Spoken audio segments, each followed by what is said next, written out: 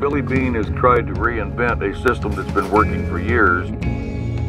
What is happening in Oakland? It defies everything we know about baseball. Just plain crazy. Who's Billy Beane? He's the general manager and part owner of the Oakland A's, but he rewrote the entire rules of baseball. He took this data and he found value in a way that nobody had seen value before, and with a fraction of the money was able to invest and compete like he had hundreds of millions of dollars.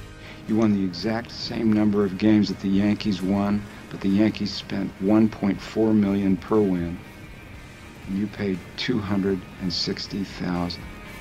In his wake, he's transformed the whole game of baseball, management uh, across the board, and there's so much that we inside of the auto industry can learn from him. Anybody who's not tearing their team down right now and rebuilding it using your model, they're dinosaurs. It isn't about how much money you have today, it's about how well you think and diagnose problems. And the data's out there to find trapped value that simply didn't exist in our businesses before. And, and when we find that value and we execute upon it, we can find areas of uncontested market space that can really separate ourselves from the crowd and allow for huge growth and, and profitability for our businesses. You guys are talking the same old nonsense like we're looking for Fabio. We got to think different.